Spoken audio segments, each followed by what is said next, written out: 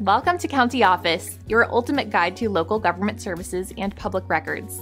Let's get started. What non refundable tax credit? A non refundable tax credit is a type of tax credit that can reduce your tax liability to zero, but not below zero. This means it cannot result in a tax refund if the credit amount exceeds your tax owed.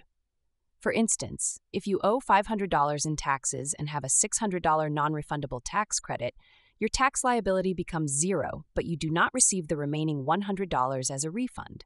Non refundable tax credits are different from refundable tax credits which can result in a refund even if they exceed your tax liability.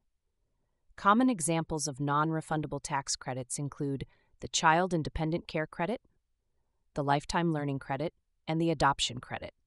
These credits help taxpayers reduce their tax burden but do not provide a refund beyond the amount of taxes owed. To claim a non refundable tax credit, you must meet specific eligibility criteria and provide the necessary documentation. Each credit may have its own set of requirements, so it is essential to review the guidelines carefully. Non refundable tax credits play a crucial role in tax planning, helping taxpayers lower their tax obligations while ensuring they do not receive more than what they owe. Understanding how these credits work can help you make informed decisions during tax season.